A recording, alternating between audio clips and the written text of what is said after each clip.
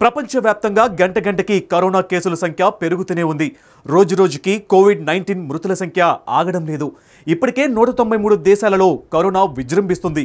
ఏ దేశంలో చూసినా కరోనా మారణ హోమం ఆగడం లేదు. ప్రపంచవ్యాప్తంగా కోవిడ్ వ్యాధితో దాదాపు ఇరవై నాలుగు లక్షల మంది పోరాడుతున్నారు. వైరస్ బారిన పడి ప్రాణాలు కోల్పోయిన వారి సంఖ్య ఒక లక్ష అరవై ఐదు వేలకు చేరింది.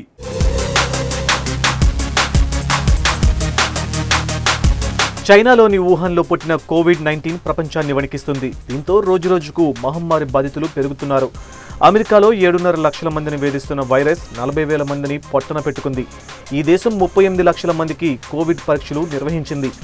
భారతదేశంలో కూడా కరోనా తన ప్రతాపం చూపిస్తుంది. మూడు లక్షల ఎనభై మూడు వేల తొమ్మిది వందల ఎనభై ఐదు మంది నుంచి తీసుకున్న నాలుగు లక్షల ఒక వెయ్యి ఐదు వందల ఎనభై ఆరు రక్త నమూనాలను పరీక్షించామని పదిహేడు వేల ఆరు వందల పదిహేను మందికి పాజిటివ్ అని ఐదు వందల పైగా ప్రజలు కోవిడ్ వ్యాధితో చనిపోయారని వైద్య పరిశోధనా మండలి ఐసీఎంఆర్ తెలిపింది. తెలంగాణలో ఎనిమిది వందల తొమ్మిది ఏపీలో ఆరు వందల మూడు కోవిడ్ కేసులు నమోదయ్యాయి. రెండు రాష్ట్రాల్లో కలిపి ముప్పై నాలుగు మంది చనిపోయారు.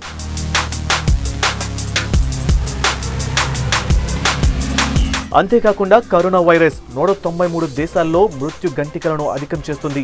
ప్రపంచవ్యాప్తంగా ఇరవై మూడు లక్షల ఎనభై ఆరు వేల మూడు వందల ఇరవై తొమ్మిది మంది ఈ మహమ్మారి బారిన పడగా ఆదివారం నాటికి ఒక లక్ష అరవై మూడు వేల తొమ్మిది వందల ఇరవై ఎనిమిది మంది చనిపోయారు.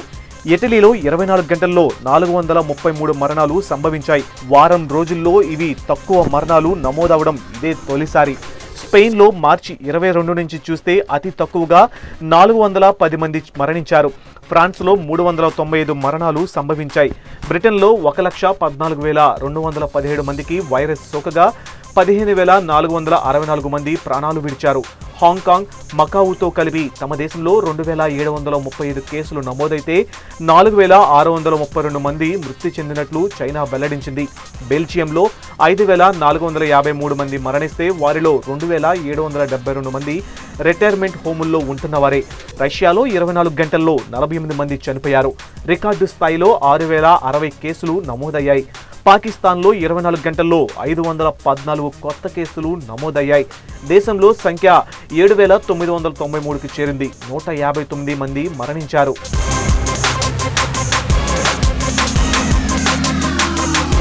కోవిడ్ నైన్టీన్ వైరస్ రోజు రోజుకు విజృంభిస్తుంది. దీంతో దేశంలో లాక్డౌన్ విధించిన కేసులు మాత్రం పెరుగుతున్నాయి. దీంతో ప్రజలు భయాందోళనకు గురవుతున్నారు.